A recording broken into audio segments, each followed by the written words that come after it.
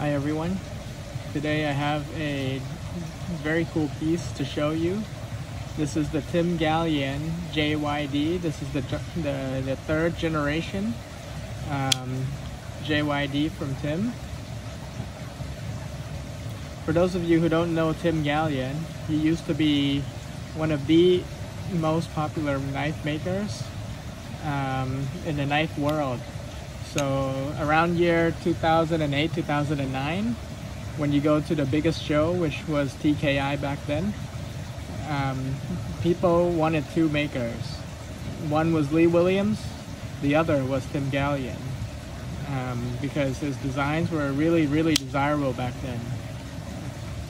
He disappeared for quite a few years because he actually joined um, Kai USA to work on you know zero tolerance and Kershaw. So you if you look at um, their lineup, some of the designs were from Tim Galyean, but he what what he did there was he helped with all the manufacturing, every single step from sourcing to setting up the machines, final finishing, etc. So he's had quite a bit of an experience. And in 2016 or 17, he left and he started to come back into knife making um, or making custom knives that is. And this is one of the pieces after he's left Kai USA so if you look at all of his newer pieces there aren't very many at all. It's extremely hard to find in fact. Um, these ones the quality is so incredible. It's, it's much better than his earlier ones. I've tried one before. It was a mini JYD um, but this is the full-size third generation. I'd say this is the XL version. It's it's, it's very big, um, and as someone who loves small knives, this is not something I typically collect.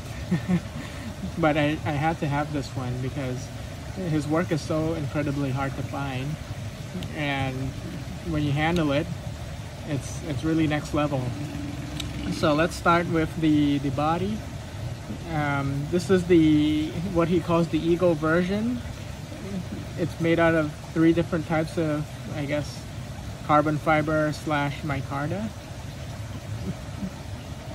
Or actually four different colors.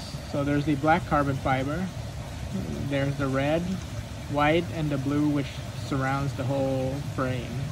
So this whole inlay is seamless you can use your nail on it and usually when you inlay with these you know synthetic materials you can make it feel absolutely seamless. So you can run your nails on it there's it doesn't catch at all. So that feels really nice and smooth.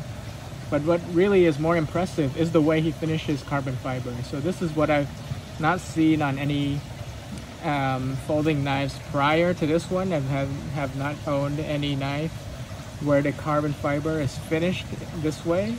It's the same way that you finish automotive carbon fiber parts.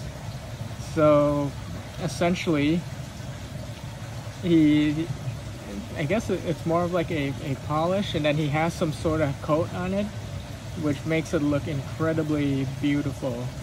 It's, it's reflects so nicely in the light and so soft to the touch. So it's so soft and smooth. And I think, you know, he said this process was a nine-step process. So it's actually a very, very lengthy process to finish carbon fiber like this. And um, yeah, it, it's just really impressive. Going on next to the action, the action, it fires really hard and it actually runs on washers, believe it or not. Um, on his newer ones, you can tell because he, he likes to put steel lock bar inserts on the new ones. Um, and I think it does help a lot with the lockout uh, compared to his older ones. Check out the centering. Dead, dead center. And it fires super hard. I mean, you've got a huge four inch knife um, I think a, a, little bit longer, maybe 4.125. Running on washers, which is, by the way, one of the smoothest washer actions that I've ever tried. and having it flip like crazy. And that's not, you know, the detent is also not too hard. I mean, I, I can open it with my, you know, middle finger very easily.